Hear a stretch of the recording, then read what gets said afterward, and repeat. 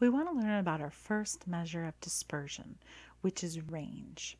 Now, range is really simple because it's just the maximum minus the minimum and it has a symbol, which is R. Easy enough. Now, some books, some textbooks write it as in words. They'll say, you know, our data set goes from 2 to 19. Um, but ours and many other books will write it as a number, 17. So our text uses that latter, which is 17. All right, so we are going to look at two data sets side by side. There's an algebra exam and a stats exam. Isn't that nice? Now for both of these exams, we're actually going to find the mean and the range. I've actually found the mean for the algebra right here. You can see the mean is 74 and the range is 40. No problem. But now we're going to do it for the stats exam. As a matter of fact, if I use StatCrunch, I can find both at the same time, I believe. So let's go to StatCrunch.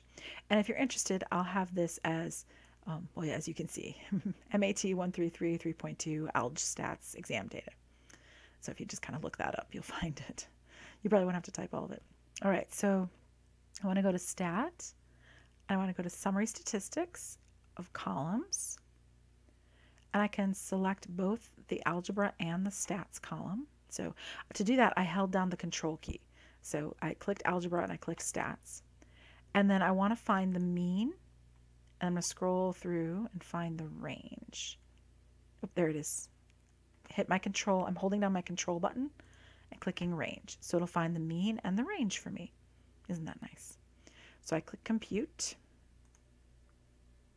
And there you see. Algebra exam, just like I said, was 74 and 40.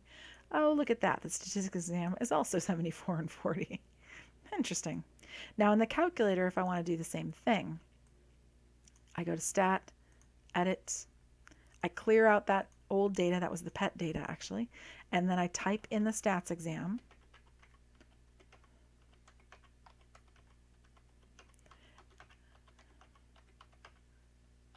There they are. And then I go to Stat, Calculate, One Variable Statistics. L1 is where I put the stats exams. I go down to Calculate and press Enter. And there you can see the mean is 74. The range is the max minus min. And the calculator does not find range the way StatCrunch does, but it does tell you the max is 100 and the min is 60. So you can do the calculation yourself from the calculator. So one way or another, either with StatCrunch or with the calculator, we know that this number is 74 and this number is 100 take away 60 which is 40 which so is this one. Interesting. All right so let's label them on this data set below. So the range is the distance from the lowest data point all the way up to the highest data point. That's the range. So there's a distance of 40 there. The mean is the balance point. So the mean, uh, let me do it in green. The mean was at 74, which is right here. So that's where you would put your fulcrum or your teeter-totter, right? So the, the center of your teeter-totter in order to get those two sides to balance. That's the mean for both of these data sets.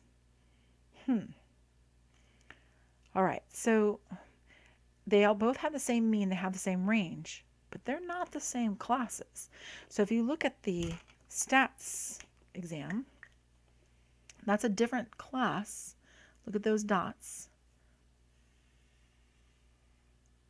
Then say the algebra exam. And by the way, these aren't real data. I mean, most of the time I'm trying for real data, but this particular time I am not because I'm trying to make a point here. I'm trying to exaggerate something that can happen in real life. All right, as a student, which would you have? Well, there's no one right answer for this. It's kind of up to you. You know, if you're a conservative student, and I mean that small c conservative, this is not political. This is more, um, you're not a risk taker. So if you're a conservative student,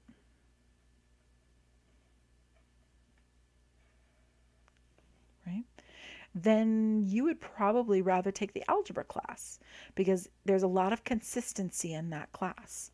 So they would rather take algebra because there's a lot of consistency and a lot of passing, right? There's a lot of people passing right there.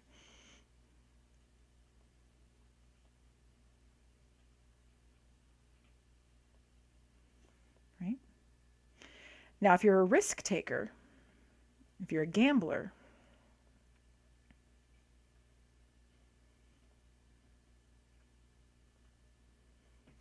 then you're more likely to take the stats class because stats can have high rewards over here. So you take the statistics class because you have a good chance. I mean, here you only have one chance, um, one out of all of these, to be a really high score. Whereas here, you've got the 85, you've got the 90, you've got the 100, right? You've got the 76. So you have a better chance of a higher score.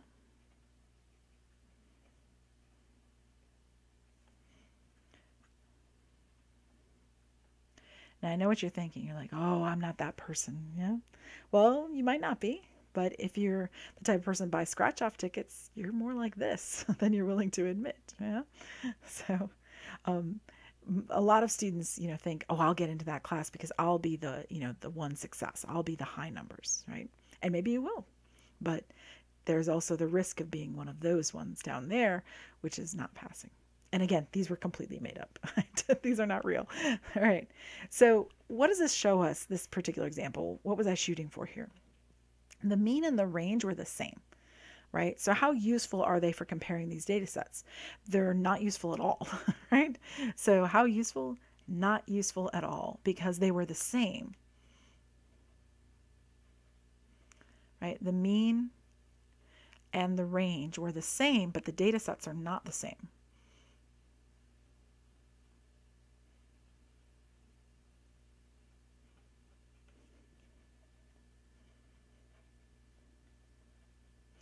Right? They definitely have different spread.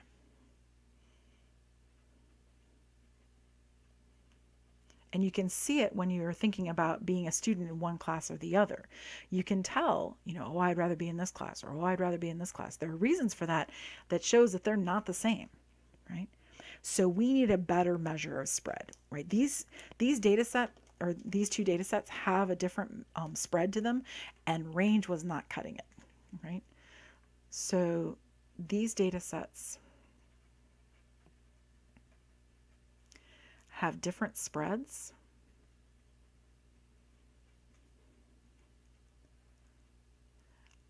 And we need a number that will show that to us. A more refined, let's put it that way, measure of spread that will find that for us.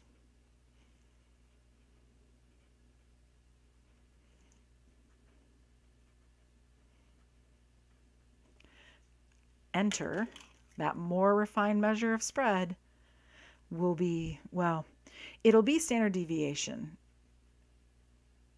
but variance is on the way to that.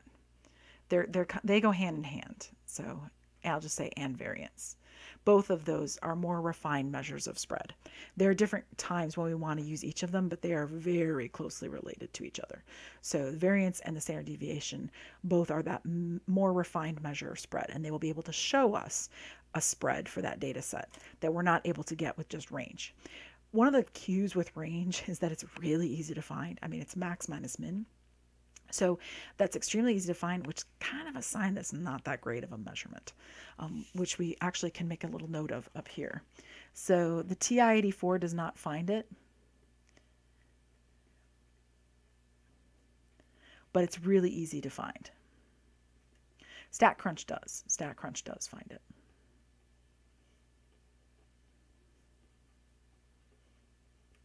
Right? But it's very easy a very easy formula is often a sign that it's not a very refined measurement.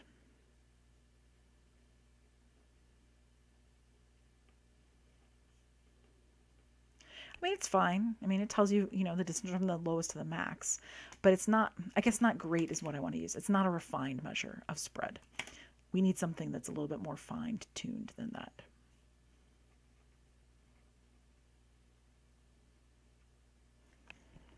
We want a fancier one. And range is not fancy, which is good to some extent, but it's not gonna it's not gonna cut it, as we can see from this example. We need more.